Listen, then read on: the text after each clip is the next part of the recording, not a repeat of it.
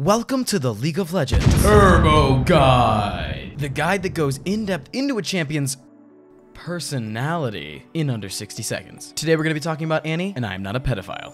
Annie takes a massive amount of skill to play, even at the minimalist of levels. Her intense mechanical combos make it nearly impossible for even the best of the LCS to execute her moves correctly. I mean, how am I supposed to put my mouse on top of a champion and press three entire buttons in no specific order? Riot just asks way too much of us sometimes. Three out of four of Annie's abilities do the same thing. Damage. Exciting, right? But wait! So does her fourth one. But at least that shitty shield comes with some armor and MR. I mean, let's face it, Annie's Molten Shield is just a really cheap way to build up your stun. Using that shit tactically is like getting a pentakill on Katarina. You feel really cool, but no one actually gives a fuck. Distortion is your best friend because your flash is a part of your normal combo, so buy this shit as soon as possible. Everything you do as Annie is based around your passive. You might only be a little girl, but when your passive is up, the enemy team thinks you're as scary as a great white shark riding a jet ski.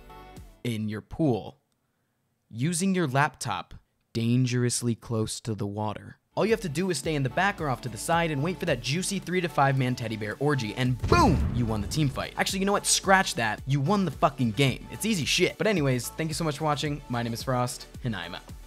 Toodles! Hey guys, just wanted to come on here real quick to tell you, just in case you did not know already, that Magikarp Used Fly and I are going to be duo queuing the Turbo Guide series. So if you don't see an episode on my channel one week, it's probably going to be on his. It's going to be pretty fucking cool. I'm excited for it, and I hope you are too.